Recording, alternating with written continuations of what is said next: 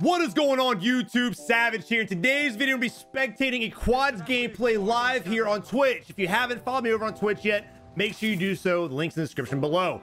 But before we get into the video, if you haven't already, subscribe to the channel today. Also leave a like on the video. But without further ado, let's go ahead and dive into the gameplay. All right, here we are spectating a Null who is in a 1v, a 1v 133 situation right now. Now, okay, as far as the team is concerned, once we grab the scav, if I was green, I would just hold my parachute. Hold your parachute in the air and just float. That way, whenever the scav pops up somewhere far away, your teammate can then let go of his parachute, drop in on the next scavenger, and hopefully y'all can rinse and repeat that with your other two teammates coming back from the gulag. Just a nice, simple strategy to give you guys a little bit of an edge to get your scavengers done as fast as humanly possible. Here we are now. Our, all of our teammates are back. We're getting the scavengers. They got pretty lucky. The next scav's right next to it. Let's see where it goes. Blue needs to keep his ass in the air. Blue needs to keep his zappy ass in the air so he can get the next one because it's probably going to be four feet away. Never mind. Wow. Whenever I get a scavenger objective, it literally goes, it literally will go from here to here to here. I mean, it's just, it's crazy distance, but these guys are getting blessed. This is apparently the best place to get scavengers. Jesus. Wow. look, look at this. You have to walk four feet. What is this?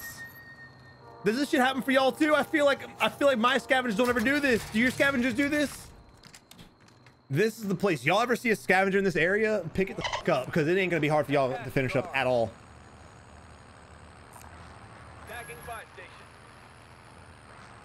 All right, we got our loadouts. It's time to play. I don't know what we're doing right now. I don't know why we're like going around this place. Why we let's, let's get out of here. Let's go do something. Play aggressive, play passive, whatever you guys want to do. You need to come up with a plan of action for the match and go with it, dude. All right, here we have blue playing super aggressive. Let's go spectate this man. He's on top of it right now. Oh, wrong blue. UAV in the air. Guy on top of IHOP. Sniper on the right-hand side by the door. I don't think he spotted him at all. Team, enemy team coming up behind us. And unfortunately, now we're in a situation where we're separated. Light blue, the guy we're spectating now has to take on this duo, I think. We only know of two enemies. That we know for sure there's two. There may be a full team here. But we're by ourselves regardless in an unfortunate outpositioned fight. Meanwhile, yellow and blue are fighting these guys. Again, don't contest sniper rifles with, with rifles like this, right? You don't want to use automatic rifles when contesting snipers because that glint can be scary. If he can hit a shot, so you're going to get on before you can hit him twice.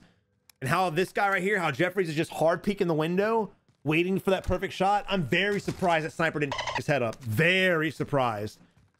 And like I thought, light blue going down, that was no surprise at all right there. Uh, again, you're solo. Unfortunately for him, he had the right idea pushing across to get the fight done, but unfortunately his team was lagging behind and they just honestly got in a bad spot. Being pushed from behind, third party situation, bad COD timing at the end of the day. But we do have $4,500. We can get our teammates back. We got a buy station right next to us. I would definitely go ahead and get somebody back. I would call back, call back light blue, get his happy ass back in here, and let's roll out. Hopefully get another teammate back too after that.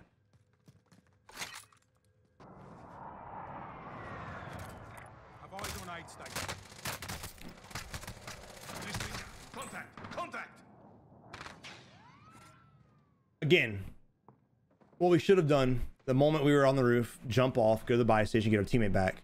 Would it have been vulnerable? Yeah, but we knew damn well the team that had just killed our guy was over here. That team that killed Blue was over here. If we would have jumped over here, they would have not had a line of sight on you. But because you waited so long and you went out the bottom door, you ended up getting killed. That team had the opportunity to push you because y'all were outnumbered and they knew you were outnumbered and you were in a bad position. You were in a camp up position. Of course, they were going to win. Oh, baby. What, what do you got the Diamattis for, fam? Close range, long range. Come on, baby. Rotate out of here. Play the build to your advantage. They know where you're at. They know where you're at, dude. I think these guys, what are you doing? Or another plastic right here, boys. It's a 2v1 right now. I'm very surprised these guys aren't throwing stuns inside of here. I'm very surprised we're not stunning the enemy. Now we're turning our back completely to the enemy.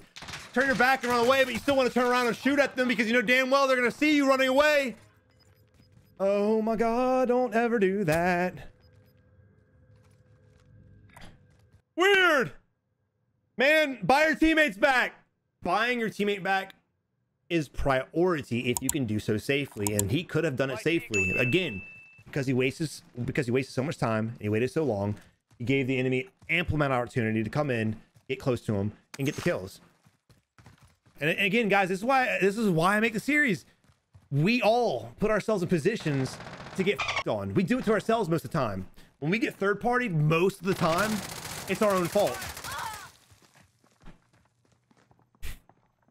Pick up the FFAR, or you can keep the M16. That's fine too. Whatever, guys. Choose the right weapon for the right fight. Small caliber rounds here.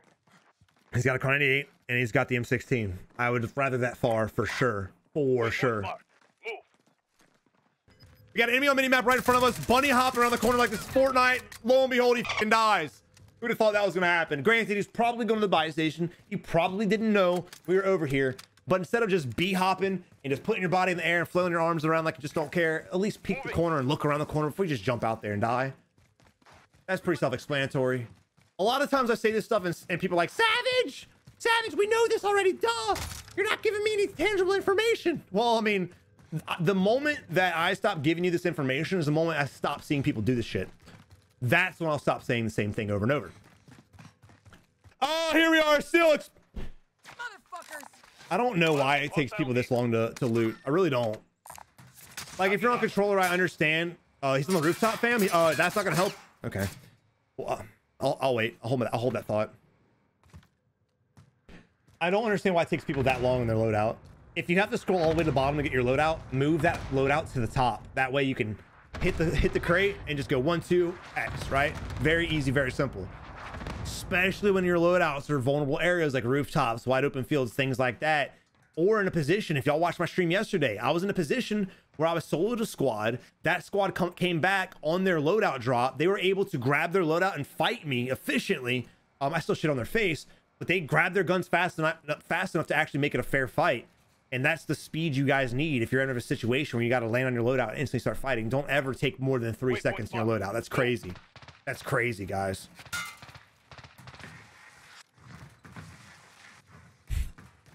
also, slide canceling. People think what he's doing is slide canceling. Slide canceling isn't just sliding and stopping at the end. That's not slide canceling. Slide canceling is stopping the slide, canceling it mid slide, right? Again, what that what the objective of slide canceling does is it resets your double time. And what double time does is it makes your movement speed faster, right? You put your gun up in the air and you start sprinting. Once your gun comes down, it means you're moving slower. Slide cancel resets your double time so you run faster throughout the map. That's the main purpose of it. If you allow the slide to be completed and you just get back up, you're not doing anything but slowing your own movement speed down. Yes, your slide, your uh, double time is resetting too, but then you're just sliding slowly and you're able to get headshotted very, very easily. Right, we're in a situation where we can still buy UAV. Between Camille's money and McCabe's money, we can easily get UAV, and I think that's what he's trying to do. That's why he's at the buy station, but unfortunately, McCabe is not taking that hint. Again, guys, join the Discord, please, so you guys can use comms or at least ping shit. Miscommunications like this could be drastic. We could have UAV in the air right now and know exactly where people are at. But unfortunately, because we're not doing that, we're kind of just scanning blindly. Two sniper glares. Now let me ask you, chat. How does how do they know we're over here? How did those two guys know that we're here? Is it hacks? What is it? I want to know what you guys think. H how do these snipers just always know where we're at? Because we're literally living in our scope. What happens when you live in your sniper scope? You produce a glare that reveals your position to the entire map. Stop it. Scan for your enemies outside your scope, and when you see the enemy, then zoom in unless you know you're scanning a mountaintop there's a lot of trees and shit you need that zoom. Shit like this though there's no reason for it. All you're doing is revealing your own position to the enemies that you're fighting and potentially other enemies that can third party you. I got killed by a guy the other day is like how do you know where i was at? He's hacking. And i was just i literally said on stream i was like oh you're wearing bright ass blue camo. Same situation guys. If you're wearing bright ass camo get it out of there. Make it hard for the enemies to spot you. Sniper scope glint remove that shit. Bright ass camos remove that shit. Stop being completely exposed on rooftops sitting on ledges and shit Make it hard for the enemy to kill you. Don't make their job easier. Now, Alexandre is a, a perfect example of players that doesn't really pay attention to what's going on. His team has rotated together over to train station, and here we are just kind of going out in the open. No slide canceling, just running mind our business, no double time. Um, just running around. We got a kilo. Oh, a little bit of lag. These servers have been bad today. Servers have been really bad today. And also another problem, he has a kilo and he has a Kar 98. I don't like that. If you get in a fight in a close range building, if you get in a fight in a building, close range combat, and you have a kilo with a VLK on it, you're gonna die. I don't care. But Savage, I'm really good with the kilo. You're gonna fucking die. A MAC 10 will fuck your face up if you have a kilo and you're rounding a corner in a doorway. This is just crazy. Right guns for the right fights. Make sure if you're using a sniper, you have something that you can get in close range combat with. Now, if you plan on never going in buildings and just being a support player, which Alexandria may be doing, that's fine. But I don't think that's his, I don't think that's his intention. I'm gonna be honest. Judging by the gameplay, I don't think that's his intention. Also, notice this: his crosshair, not his crosshair, his reticle, the little dot. Notice how it's on the ground. Notice how his crosshairs on the ground, his reticle's on the ground. Why? When you're moving throughout the map, you need to take that little dot in the middle of your screen and move it on the ridges of the hill. That way, if someone peeks up, your dot's already there. You're ready to shoot at them. You're not just staring at the ground. It's easier to move your reticle from side to side to snap on enemies than it is to go up, right, down, and try to get all of these different bearings.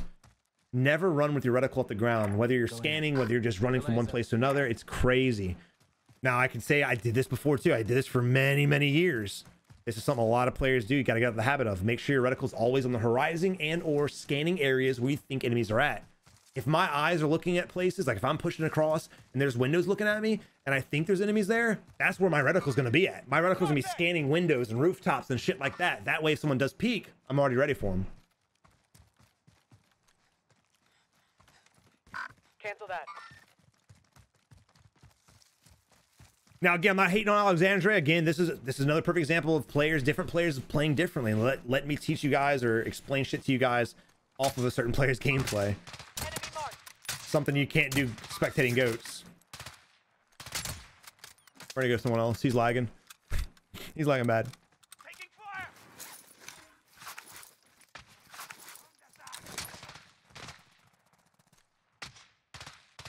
So here we have McCabe. Okay, okay, he ping. I thought he was about to shoot at him. I'm to say, please don't piss off another team while you're in the middle of combat on an open ass hill. Again, that team didn't see him. There's no reason to continuously look over there in our scope because again, that glare's gonna give away our position. I'll keep my eye on there. I'll look over and be like, okay, we're good, but I'll never scope it on the area and allow that team to be like, oh shit, there's people over there. Because if they're not paying attention, they're not paying attention. Don't give them the ability to actually know where you're at. Now, fights like this, it's crucial to get that knock. If these guys can knock one player, it's now down to a 4v3, not to mention one enemy will at least go to get the res, and then it's a 4v2. That allows you guys to probably have the ability to push the enemy and get the kills. Now, McCabe's coming over here by himself. He knows there's a team over here. He marked it. Shit like this, too. Look, look at the mini-map right now. Look at the map. Let me ask you guys, why are we over here and my team still over here? Remember, move together, get out of bad positions together. If y'all hang around that fight for too long, you're gonna end up getting on from that team you're fighting, and or because you're in the open. Look at this.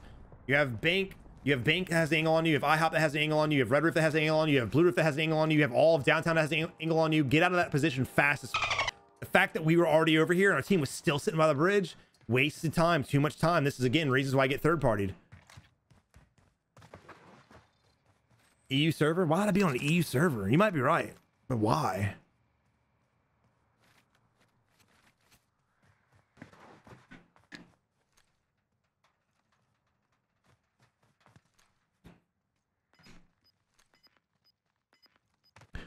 Okay, our weird. Why is our team? Oh, look, they all went down. They all fing went down in the open, no cover, not doing anything. They've got one ping. Wh- Why? Why? Why? Why? So, as far as that team, when they were over here, was a bad call. They should be with us. But, you know, they're trying to move to the next zone, and that's fine. I'm good with that. But why not move through the buildings? Why not navigate the buildings and use cover? Why would you cross in the open when you have all this cover and concealment right here? Now, I'm very surprised they didn't get executed. All three of them went down, and somehow they survived. I'm moving.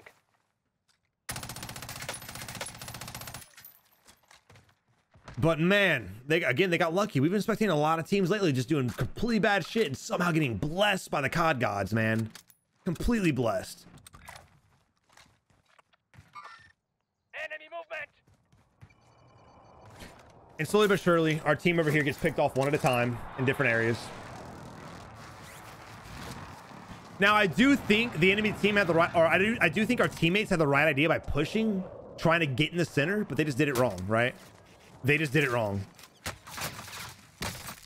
This is the area they should have been at. They should have used these buildings to rotate in, fight whoever's here, clear our backside, and then push into the next compound. This is why I tell you guys never to camp or never go to the middle of the circle. If you guys go to the middle of the circle, you're going to get third parties. Look at that guy hitting the prone. McCabe was safe. I do think he probably should have left that area sooner than he did, but it ended up working out. I like the fact that McCabe got out of dodge from the guys on the hill, rotated that circle, and I really wish his team would have been with him. And then we could have pushed from that building that we were just camping on over to here. And look where McCabe's at right now. Still playing good. Still in a good spot now. I'll be surprised if nobody's on blue roof. I'll be very surprised if no one's in this building. Tagging aid station location. Tagging aid station location. We need a hundred dollars. There you go. Drop it for your teammate. Hopefully he picks it up. It looks like he's going completely somewhere else. Uh, uh, uh, uh, uh, come back. Come back. Nope, going loadout. Communication error right there. I'm for him going for his loadout, 100%. But we should have discussed that. I'm for going to loadout. We got to go that, that area anyway. Not to mention, we could buy our two teammates back instead of one. So now we run a huge risk because there's two people down here by the buy station. We run a huge risk of not being able to get our teammate back now. Taking fire. And then when our teammate comes back to us because of the open area, he gets off. So instead of having two teammates, now we now are back to, or instead of having three teammates, now we're back to one. Awesome. Can I get a hand clap in the chat?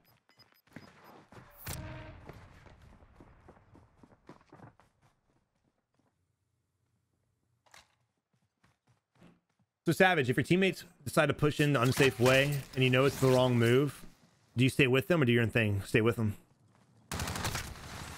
Stay with them. So, I mean, situational based for the most time, stay with them. And that happened the other day. And I told them it was a northern circle. I said, hey, we need to focus on the hills because the hills is the next zone. And the buildings we're at right now is very, it's very small of the circle and it's going to get pushed out. There's three teams here. We need to get the fuck out of here. Hey, they wanted to play for kills and we ended up getting third partied. Um, but I went with them because you got to stay together. Last thing you want to do is solo a squad in the first place when you could possibly outplay a bad situation having your full squad there. Taking fire over here. And this is a perfect reason why I always say don't play the edge of the circle either. Because now this team's going to get on from the high ground. There's so many things I want to say, but I can't pause the video. Damn it. We're going to do a Discord video after this. We're going to do this Discord one. Whoa, whoa. There are children watching. Relocating. Only ten remain. You're nearly done. Oh, we got the teammate too. Oh. Airstrike killed us and the teammate. Lit. Lit. If you're not confident your skill, stay with your team for sure. For sure. Ooh, we almost outplayed that. Good shit, Golden. Good try, brother.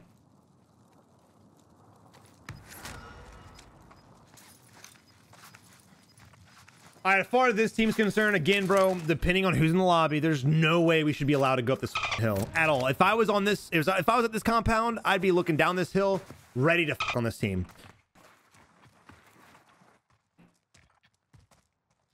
I don't know if I don't think there's a way up on the right hand side. There might be. Oh shit, there is. Never mind. That's a good read, actually. This is the better play for sure. Get to the high ground as fast as possible. I didn't realize the trail was here. I like the fact that instead of going into the compound, they know the compound's getting pushed out, and they're gonna sit here and wait for the people to fight. Um, and then third party them as they're leaving the zone. But we need to go ahead and get an angle on the edge of the circle. We need to get an angle right here because once they leave the tents, they're gonna be vulnerable because we're hiding behind a rock. We're gonna miss out on opportunities to get nice, easy kills. Look at his teammate laying down on the ground like a frog. They had a good plan, but they executed poorly, man. This is terrible. Why? Y'all could easily have killed the guys coming out of the tents. It still may work out. We got nice circle favor, but I don't like this at all. We get third party the fuck out these guys, rack up some kills. Flores is sitting on 10 kills right now. Um, our homeboy's sitting on five. Moving. It may work out again because we have circle favor. We got to watch out. We're vulnerable to that window and to the doorway that's shed behind it. Oh, here we go with the bush. There we go. If, if only had a heartbeat. Weird. A savage. Laying in bushes is awesome. So, if we would have pushed the teams and gate kept them out of tents, guess what wouldn't have happened? They wouldn't have just killed us and won the game. Weird. GG's. But guys, I really hope you enjoyed the video. If you did, again, don't forget to follow me on Twitch, subscribe to me on YouTube, and leave a like on the video. But until next time, you have a good one. Good luck in Warzone.